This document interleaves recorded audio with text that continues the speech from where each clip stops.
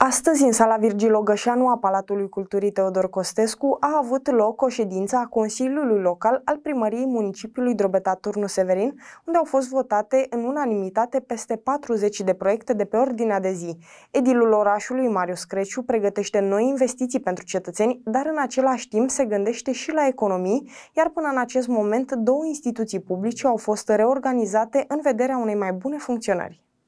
Prima reorganizare făcută a fost asupra Direcției de Patrimoniu Istoric și Turism Cultural, unde mai multe funcții de conducere au fost eliminate, nefiind necesare. O nouă investiție care a fost aprobată în cadrul ședinței de Consiliu Local a fost reabilitarea străzii Gheorghe Angel din Splai Mihai Viteazu până la intersecția cu strada Mihai Cogălnicianu. Da, am avut 42 de proiecte pe ordinea de zi, de mult n-am mai avut o ordine de zi atât de bogată. Uh, chiar dacă am avut unele discuții la uh, anumite proiecte, uh, ele au fost aprobate în totalitate. Aș aminti aici, în primul rând, despre reorganizarea Direcției de Patrimoniu și Istoric Cultural, pentru că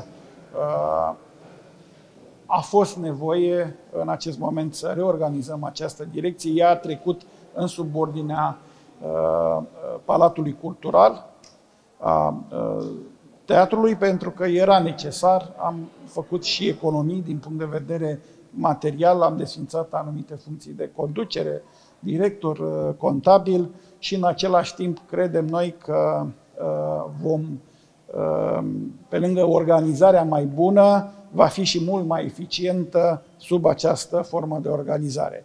Mai amintesc faptul că am aprobat astăzi proiectul tehnic pentru reabilitarea străzii Gheorghe Angel din Uh, Splaiu Mihai Viteazu până în uh, sus în, uh, în Mihai Cogălnicianu, dar în același timp continuăm în stânga Vasile Gionea către Schela.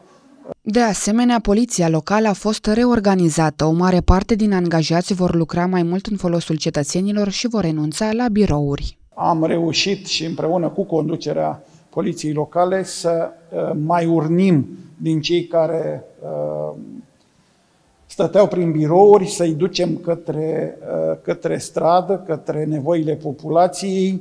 O parte din uh, angajații poliției locale ce aveau în, în subordine zone de birou, de birocrat, să zic așa, vor fi din această perioadă în stradă.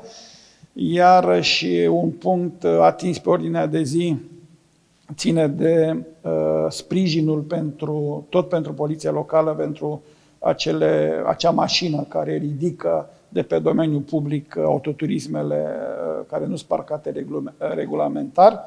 Uh, au avut mult de muncă în ultima perioadă și continuăm să folosim acea mașină, chiar dacă unora dintre severini și numai nu le place, dar uh, mulțirea enormă a numărului de mașini și uh, lipsa de disciplină a anumitor cetățeni ne obligă să continuăm această activitate.